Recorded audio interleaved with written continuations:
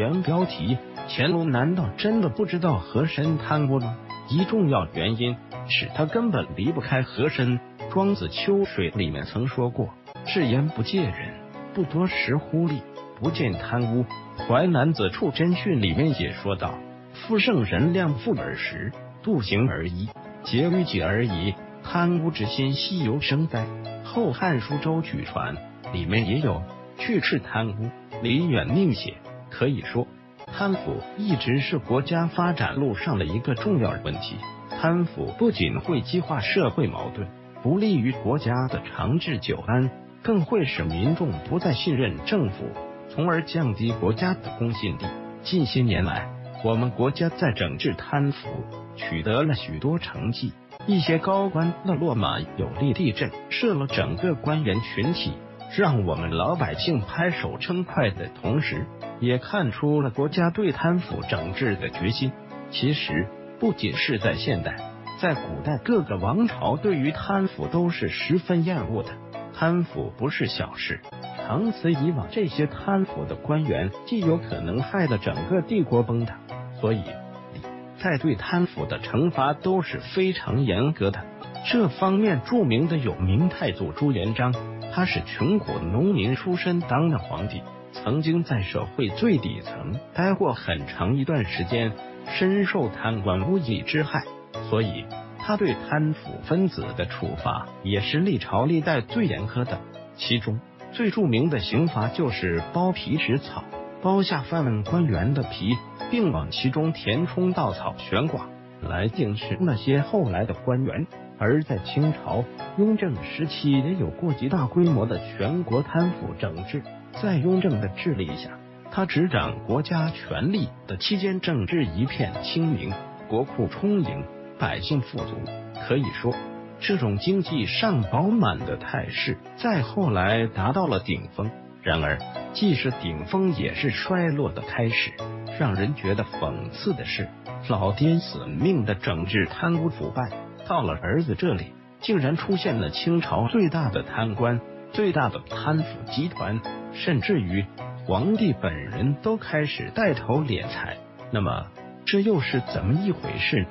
中国古代王朝出现过很多的繁华景象，而在清朝则有着所谓的康乾盛世。这一段时间，国家强大，国库充实，人民富足，是整个清朝国力最强的时候。这个盛世的出现，讲实话和乾隆关系不大，百分之五十都是爷爷在位打下的基础，百分之四十是父亲治理后形成的良性发展。最后的百分之十才是在乾隆手里，那自然而然的就达到了顶峰。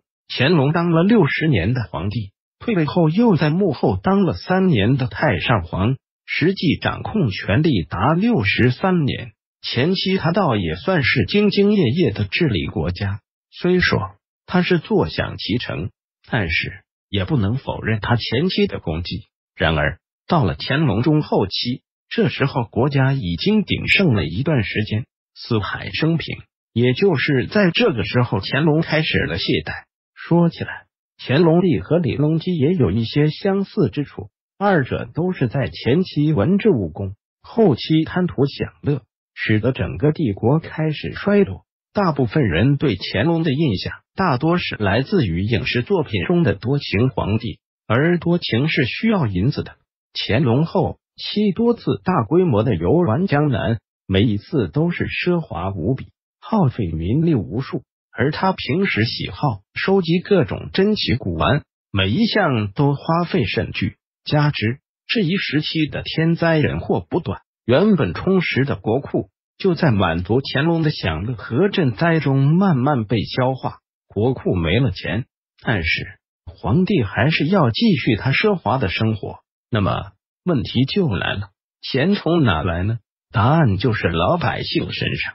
之后，乾隆为了维持自己的奢华，开始了带头敛财，皇帝都开始行贪腐之事。那么，可想而知，臣工们又会是怎样一个状态？在这里，清朝最出名的的贪官和珅和他的利益集团，为什么能一直待在权力的中心？那是因为这个利益集团的最终老板就是皇帝本人。难道乾隆不知道和珅贪吗？不，他是知道的，但是他需要和珅来为他敛取更多的资本，以保证其皇帝的糜烂生活。都知道，在中国数千年历史上，贪官总是成而不绝，而且胃口越来越大，手段越来越狠，数量越来越多。清代人贪官何坤，他被即墨的家产折合白银就达到八亿两之巨，甚至比清王朝十年的总收入还多，创下了贪污受贿的最高纪录。这样的巨贪，乾隆皇帝能不知道？这里更重要的是，和珅虽然是个十足的贪官污吏，但他能办事，能够处理好乾隆交给他的军国要事。在一个大型贪腐的朝局之中，如果你要想压得住下面的人，那么你就得找一个最会贪的人来办事。在影视作品中，和珅和纪晓岚有过这样一段对话：纪晓岚痛斥和珅贪污赈灾粮款，和珅回答说：“贪这些钱是为了让那些官员们更好的为他办事，不把他们喂饱，谁？”会来真心实意的办事呢？这话听起来荒唐，但是却也是一种无奈的现实。大环境决定了，你如果不同流合污，那么你不仅办不了事，甚至于自己的安全都无法保障。